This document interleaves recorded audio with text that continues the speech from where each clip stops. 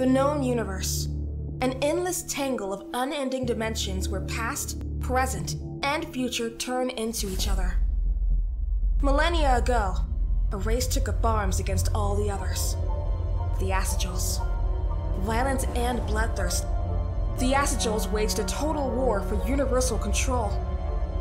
Having mastered FTL travel, the Asagils conquered thousands of civilizations. Galaxy after galaxy fell to the Asagil Empire. And within mere centuries, they controlled almost the whole universe.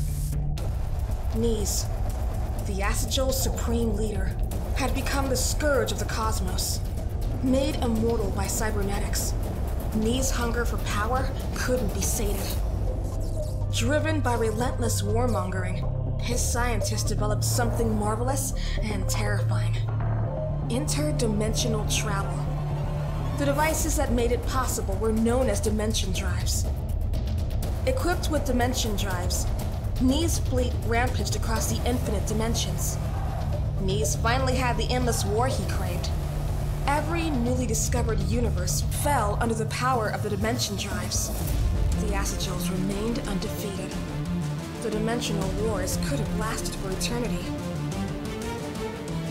Hadn't it been for the Manticore, a legendary starship capable of dimensional jump. The Manticore is the ultimate combat ship, its mystery matching its power. It's the last hope of the universe, the only chance of stopping the dimensional wars. The Manticore is everything that stands between Nees and his eternal wars. My name is Jacqueline Tywood. I'm the last survivor of the Dalkian race, and captain of the Manticore.